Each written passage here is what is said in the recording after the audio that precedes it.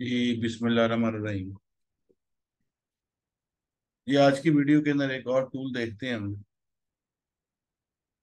लेकिन ये जो टूल है, ये आपको रिसर्च के अंदर पेपर रीडिंग के अंदर हेल्प करेगा।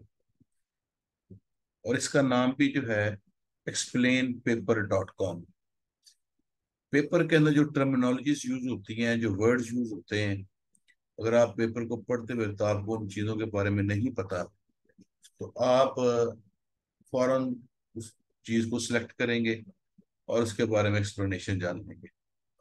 तो बजाय कि आप उसको दूसरे टैब में खोलें और वहाँ पर जाके आप गूगल करें और उसके बारे में इंफॉर्मेशन लें तो आपको जब आप पेपर रीड करते थे तो ये साइट जो है वो साथ साथ ही आपको इंफॉर्मेशन देती है।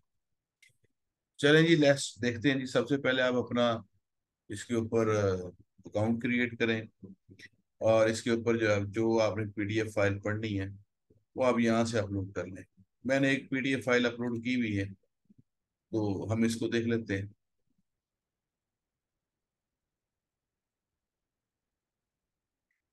अब यहाँ पर कह रहा है कि यहाँ पर दो चीज़ें आ रही हैं।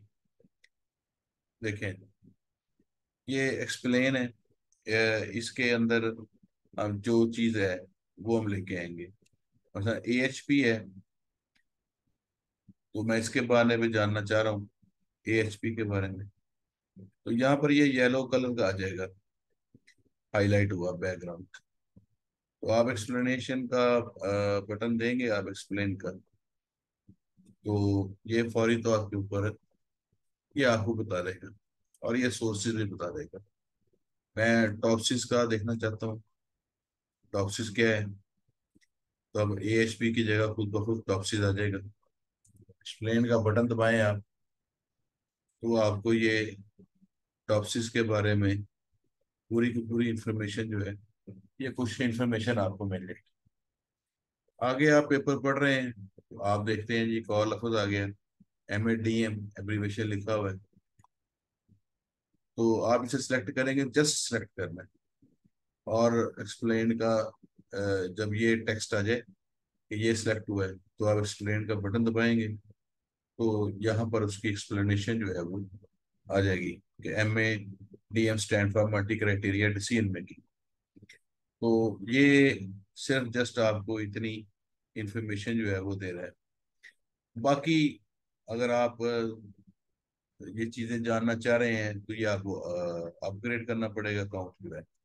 और अगर पेपर के रिलेटेड आपके कोई क्वेश्चन है तो ये आपको, फिर आपको अपग्रेड करना पड़ेगा। तो बेसिक जो वर्जन है, उसके अंदर एक्सप्लेनेशन मौजूद है। आप पेपर पढ़ें इसको यूज़ करते वक्त एक्सप्लेन पे एक्सप्लेन पेपर के ऊपर। और जैसे जैसे कोई चीज़ आती जा रही है, आप उसको सिलेक्ट करें और यहाँ पर उसकी एक्सप्लेनेशन जो है, वो आपको साथ ही यहाँ पर पेपर के अंदर मिल जाएगा।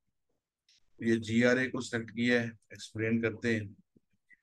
तो ये जी आर ए के बारे में जो है वो ग्रे रिलेशनल एनालिसिस जो है, इसके बारे में पूरी इंफॉर्मेशन हमें दे देगा तो मिलते हैं जी फिर नेक्स्ट वीडियो के अंदर और कुछ बेहतर रिसर्च के टूल्स के रिलेटेड तो उस वक्त के लिए जनाब अल्लाह हाफिज़।